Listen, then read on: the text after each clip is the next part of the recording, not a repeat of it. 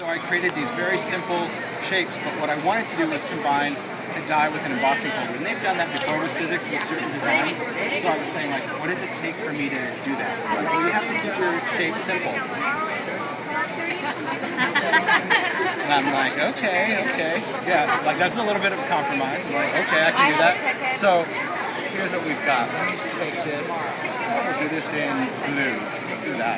I like that. So if I want, I can go in and I can cut out a shape. So if I want to cut out a butterfly, I can cut it out on my card. But what I love about this, because it's steel rule, is forget cardstock. I'm going to go to the good stuff. I want to do grunge. You know, grunge board, chipboard. I can now make big shapes or big frames. So I'm going to lay that down. I'm going to place this between my cutting pads. Run this through the machine.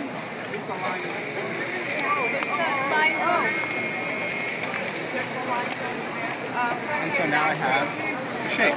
So my shape, besides that it's a big shape, I've got a great frame now. So if I was to cut this on a large surface, I can put this over a scrapbook and now make a frame out of it. But these also come with a matching texture kit. So when you buy this, both of those are in the same package. So that's included.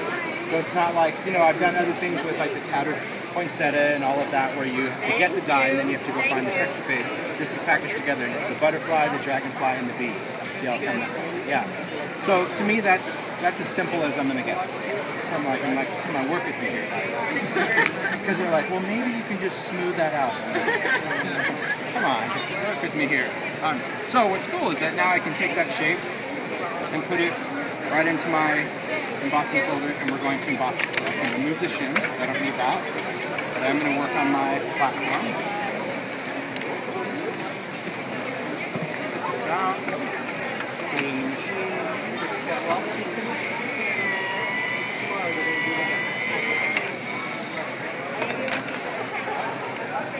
And now I have all of my details. So let's talk about when we have the detail. I can take some ink pads take things like the Distress Minis, take our blending tool.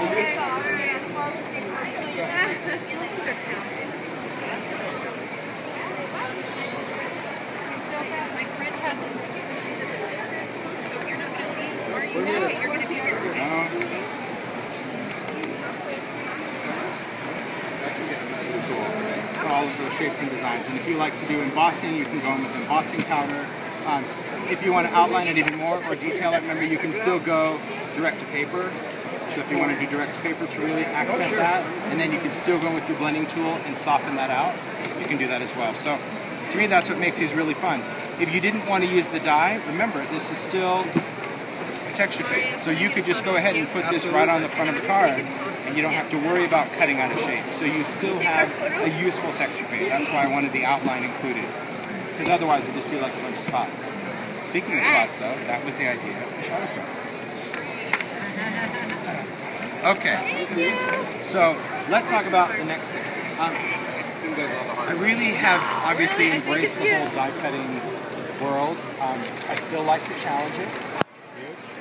Come up with concepts to say, you know, I wonder if this is going to work. What, what would happen if? So I contacted Sizzix. I said, I have this idea for an embossing folder. I'm not sure if it's going to work. And they said, what do you want to do? I'm like, well, I just want everything to be an innie, and I don't want any outie. I don't need anything raised over the top. And the design that I want is just going to be a drop shadow. So that's the whole idea behind shadow press. So shadow press, what they are is they are drop shadow sticks. Okay? So you get six different words in a package, and what that's going to do is it's going to deboss the shape. So unlike having all of that raised, it's only going to deboss the drop shadows. Okay? So the top of our surface remains completely smooth, but all of that, like the reason we can read the word is because it's the drop shadow. So let's do a word. Let's see what we got here. I have a lot of notes. What is this one? Thank you. All right. Let's say if we were working on a card, right? You could take a word and you could go across, but because it's in that stick, you can position this anywhere you want on the card. You don't always have to go on the side. If you want it to go down the side of the card, you can do that. If you have 3 by 4 and 3 by 3s you can position those anywhere you want. And keep in mind that when you do this, you can put this on a lot of different surfaces. Okay, this is still going to be your embossing folder, so let's go in and let's start with watercolor cardstock. I like that. All right, let's do why not? Okay. So for this, I am going to want to work with uh, my platform. I also want to work with my shim. If you have thinner papers, if you're going to do invitations, maybe you're going to do this through vellum or thinner papers, you want to remove that shim. Okay? Because remember, these drop shadows are straight lines. So straight lines with an embossing folder tend to want to cut through the paper. That's going to happen, your option is to remove the shim. Another thing I like to do when I work with, if you ever work with just general embossing folders and you find that, whether they're Sizzix or not, and you find that they're cutting through the surface, if you have a piece of grunge paper, um, I don't know if she has any here. Grunge paper is good, just going to be a thinner version of grunge board. I often put grunge paper in with my cardstock when I emboss it, and it will still give texture, but then it won't cut the paper, and you can reuse that grunge paper indefinitely it's that flexible material. So, all right. So back to this. Just going to place that in there. It's going to be two clear cutting pads.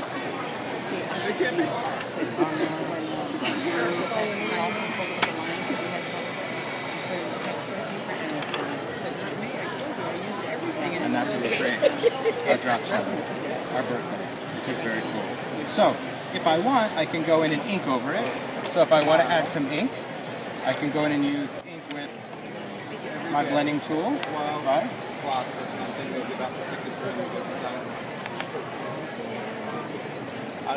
So if you really want to make it grungy or distressed, you can create the drop shadow. It really just depends on the project. You know, I like, when I'm doing this, I love the look of just the neutral cardstock because that's like traditional letterpress. But if you wanted to go in because, I don't know, you have an idea and you want to fill in the color, you can take the fine point of a marker and you can just go right in the channel of that. Because that deboss channel is so deep that your marker is going to stay right in there. So you don't have to know what you're doing. You just follow that. You don't have to know what you're doing. You know what I mean? I like that. Because, and that's why I'm using the plastic nib, because the plastic nib is going to stay in that channel. Where a brush nib is going to float right out of the side. So you can go in and add a, a color in your drop shadow as well. I love that. Shadow press is super cool. It really is. It's a fun way because think of it from think of it from a, a scrapbook perspective. You can do a drop shadow right across a photograph. And it's not going to compete with the photograph. You're just going to kind of, when the light hits you, be like, oh, there's a word in there. say? And that's what I like about this. It is the subtlety of that. You can go, wow, it, it is kind of subtle. That's the whole point. It's the shadow press. It's only creating a shadow so you can be able to see that. So I like this. How many words did you Pretty come out for the first release? Oh, I only did 30. Is that all? Tim. I had to stop uh, because you get six in a package. Oh. Yeah, so in the set you get six in there. Ten ninety nine. Oh my god. Yeah, yeah, and so that, that's really one of the cool things. I can come up with a lot of other ones, but we really wanted to. I wanted to stick with words. Um, obviously, I have a limit. I think "wonderful" is the longest word that I did because I wanted to make sure that the overall length of the word would be able to fit on a card in all directions. Okay, so we did things like thank you, note to self, you know, with the number two, seen and noted. So there's all sorts of stuff, whether it's documentation or whether it's celebration. Um, I don't know. I, I think it's really fun. I think the concept is cool. Um, some other cool concepts, like I did this die. This is called Petal Drop. It's a super simple die. Um, it actually cuts three of these petals. I don't know where the third one is, but it will cut three of them. And the idea behind this was to create a collage and then be able to cut pieces out. So for this one, I worked on grunge board. I just glued down my papers, took my sewing machine, and then ran through and just stitched all of my seams, just wherever I wanted to. Then I went and cut it out. So by cutting the petal drop, I can take the petals and I can put two together to create a heart for Valentine's, stitch it together. I can add another petal. I can do like the corner of a page if I was working on a layout. I can start building up and you can go in and create a flower shape. Or if I complete it, I can create a full circle of that. Yeah, it's just a, it's a fun component. I like it. Yeah, it's a great way to cut out collage, but still use it. And even like in the quilt market, this is a great way to use it for fabrics because I mean they're familiar with a shape like this. I just wanted to make it a little smaller for card makers, but I love the ability to do that. So it's another fun thing. Now we'll talk about some, there's some new designs here. So one of the things that I did, I designed a bunch of new shapes. Let me kind of sort these out a little bit. Um, did a wood grain, a little simpler wood grain than the first brick and wood grain. I wanted to do something that didn't have a giant knot hole in there, but still had some cool kind of rough texture. I did waves and bubbles. I did some nautical dies. I did a seahorse, sand dollar, so the waves and bubbles really complemented that. I love this drapery one. It has a great scalloped edge, so it's really a fun design because this is great to kind of come out the sides of photos as a mat. You can cut it if you want to create a, a scallop border on anywhere the top and the bottom. Is good. This set's really fun because this is artful arrows, and this is also a full alphabet die. So I like that. I like that we can just create a full background because if you were doing something, I don't know, for a birthday or something, you can go in and highlight their initial, I don't know. I kind of think here in my head. But one of the things I really liked, and I don't know where the other piece is, um, I did a bunch of mini textures. So the whole idea behind the mini texture was to be able to use the diffusers. A lot of people want to use the embossing diffusers, but I didn't have a real uh, busy all over pattern. So if you diffuse like something like this, you kind of lose the effect. You wanted something small. All of these designs coordinate with the framework shape. So I did that all over pattern. I did uh, this all over pattern right here. I did the chevron all over pattern. I did the honeycomb, and I have this. And it's all that. So there's a red one somewhere. Um, but it's all a much smaller pattern. And so there again, if you want to keep that shape with your frameworks, now you can emboss the background and use parts and pieces of your frames. It's really cool. Yeah, I think frameworks, I mean, the reason I wanted to do like a collage for these samples is because I picture a lot of different artists doing their little collage pieces or little samples and then just cutting them up and putting little bits of their artwork into projects. You know what I mean? That's what's so fun about it. Yeah, it's using little snippets of stuff. Or, you know, maybe you have some ephemera. Maybe you have a, a map or cards or something from a trip and you don't want to use the whole thing because it's not that good. Just die cut it and use the different shapes and pieces of it. So it's, it's pretty cool. I like it a lot. Do I do? So, any questions on anything? It's cool. It's cool new stuff with Sizzix. Seriously. You gotta check out the boots because the booth rocks. Yeah. Yeah, all the things that we did. Just that Debbie Debbie Adams is here. She's the one that's behind like all of that creation. Really cool and some very talented designers. You see that beautiful box right there with the butterfly and dragonfly? It's pretty amazing. The artist right there is Heather. Heather made that project. But she's like, I'm going to crawl into my skin now. Yeah, yeah. It's cool though. I mean, like for me as a designer, the most rewarding thing is coming to the show and seeing what all the talented people do with the stuff that is designed. The best. I already know what I want to do. With it's in my head. So when I see what other people want to do with it, it's like this. You know what I mean? It's the most rewarding thing is someone to say, "Wow, you made that with that." You have to know from being in the creative. That's the that's what keeps us all excited, right? Because you're going to see it as one thing, but then when you go on something like Pinterest or something, and you're like, "Oh my gosh, I would have never thought to make that with that." Yeah, that's what I find is the best thing about coming to CHA. It's like seeing what people do and you know, you see all the sneak peeks and you're like, okay, package things, wood blogs, letterpress, or a lot of people talk about this. They're like, okay, I saw it on your blog. I'll be honest, didn't get it. You know, they're like, okay, I want to cut that.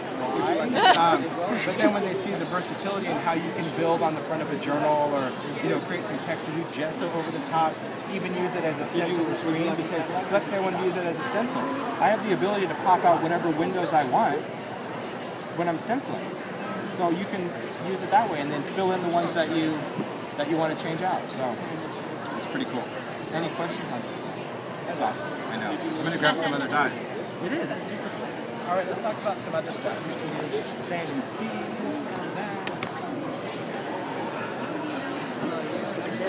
I was very excited to see this. Was I, Mark? You were. I was. I was very excited. Um, this is a change that I just saw here, which I'm pretty happy about. Because I just saw that again. Like, when are we doing this? Um, yeah. So they are obviously updating the base tray to include a grid on there for positioning, especially if you're using like the dimensional cutting pad. Because I guess they were tired of me drawing on mine with a sharpie. This Is the only thing I can think of. So apparently this is going to be a running change. So you know, if you're you're in the market for a new base tray, just make sure that on the package you see this grid pattern because I just went and checked. So if it looks like a grid on the package, it's done. Well, I want to find out how they did it because this was the original design, but I found that with the magnets and the steel, it was just scratching it off. So apparently they figured something else out. But an overlay should be, yeah, I don't, I don't know if it's possible. Yeah, I'm, I'm curious because I think because I'm feeling this, it's it is screened. Like you can you can kind of feel that ink over the top. I'm excited about that. What? That's probably it. Yeah, I do, but I have That's probably why it won't scratch it. questions first. So smart. See, we should have just asked you. Because I'm like, can you just screen print it? He's like, yes. But when they use it, it's going to scratch out. All right. Okay, so let's talk about. Let's cut out this shape. This one's really fun. I'll clean this out. Wow. Look at this die. Thanks for sharing your apron with Shame on me. that. See you around. Shame on that. Never do this to your guys. Always clean them. See all this stuff I'm picking out? Not good for your dies. Yeah. The reason is because it doesn't matter what the foam looks like, you know, so when you pick this out, like see for example I kind of dug out the foam, it doesn't matter. That doesn't damage your die.